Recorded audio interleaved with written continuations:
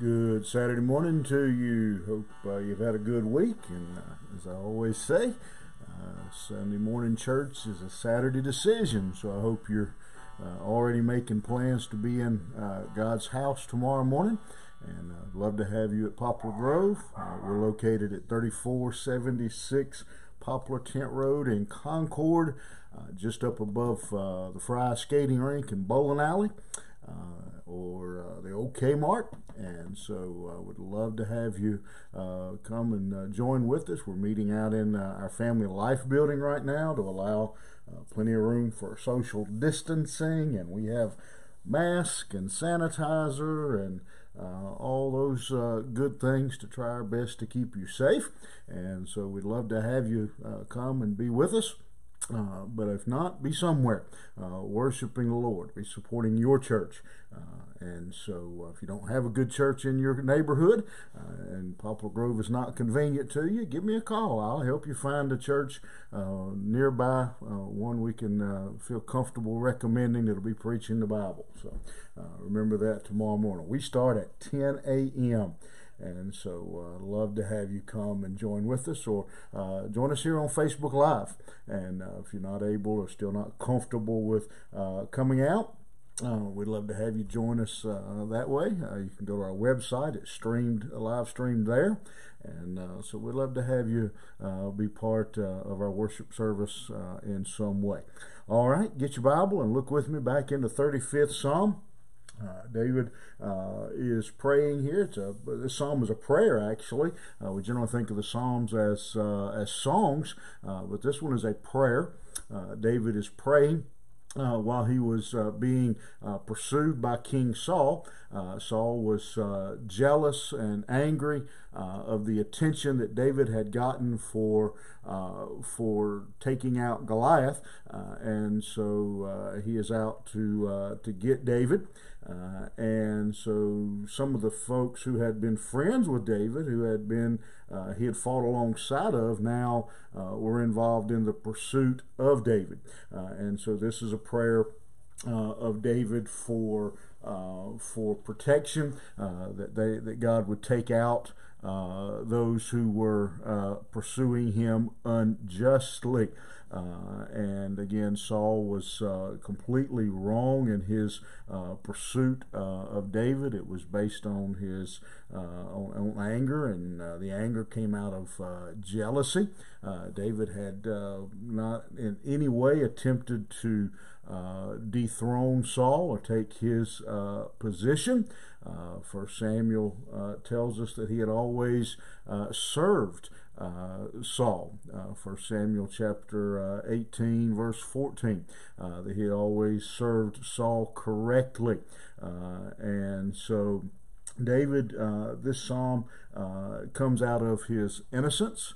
Uh, and he prays with great confidence uh, that uh, he is asking God to execute justice.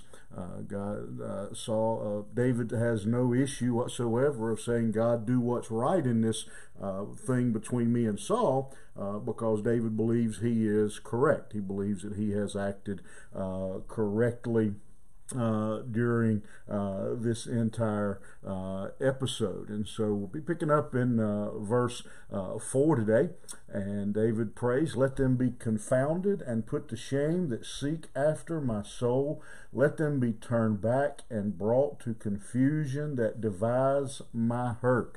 Uh, and so David prays kind of a, a, wordy statement there, I guess, in the King James, but it's really a, uh, a simple statement. David just simply prays uh, that his uh, attackers, uh, those who were uh, after him, that they'd be defeated.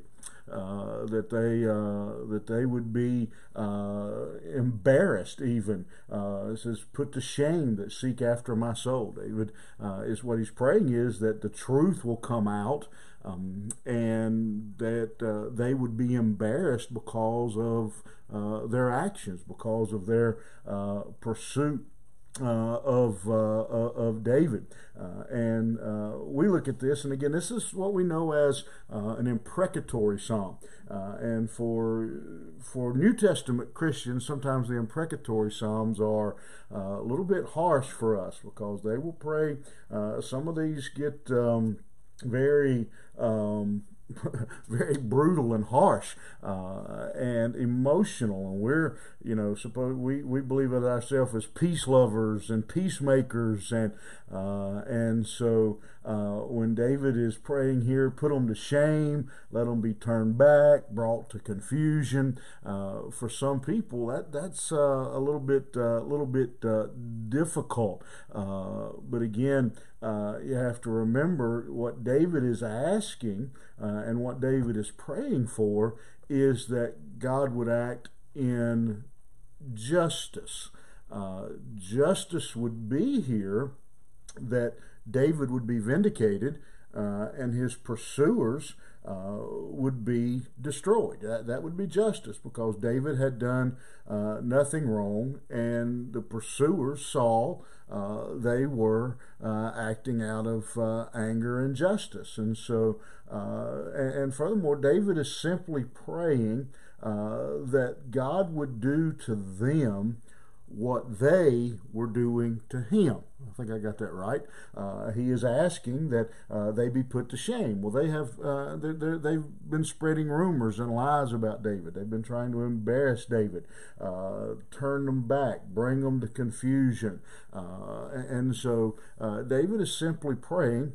that that they would they would suffer the same same punishment uh, that they had uh, inflicted on him, uh, turning him into a, a, a, fugitive, turning him into a, a criminal. Uh, and so David was uh, praying that, that, that, that, justice would be done, that their, their attempts to attack him and ruin him would be brought, he says, to confusion.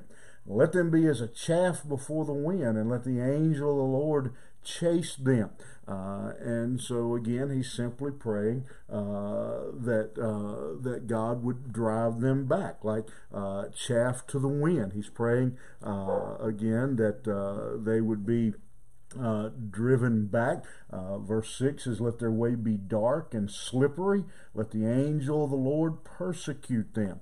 Uh, and so David is again, he, he's praying for uh, protection. He's calling for uh, the angel of the Lord to, uh, to chase Saul and his men just as Saul and his men were chasing him.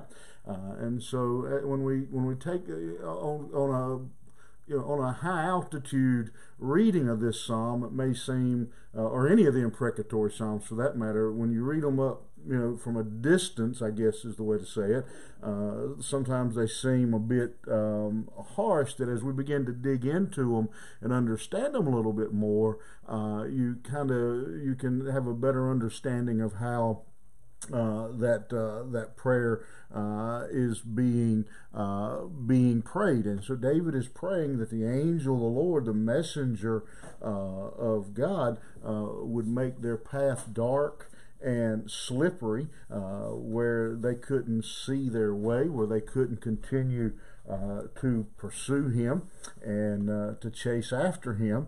Uh, and so he's again he's simply praying that the same thing that would happen that is happening to him uh, would happen uh, to Saul and his people. For without cause, and here he states his case, for without cause they have hid from me their net in a pit which without cause, he says again, uh, they have digged for my soul. Uh, and so David is uh, saying, let them suffer um, for their wrong uh, persecution of me. Verse 8 uh, Let destruction come upon him at unawares, and let his net that he hath hid catch himself into that very destruction, let him fall. Uh, and so David is praying, let them be caught in the trap they set for me. Uh, and so uh, he's again he, he's simply stating his case uh, that he is innocent. Uh, he and, and, he prays without any shame whatsoever that his enemies uh, be destroyed uh, because they are trying to destroy him.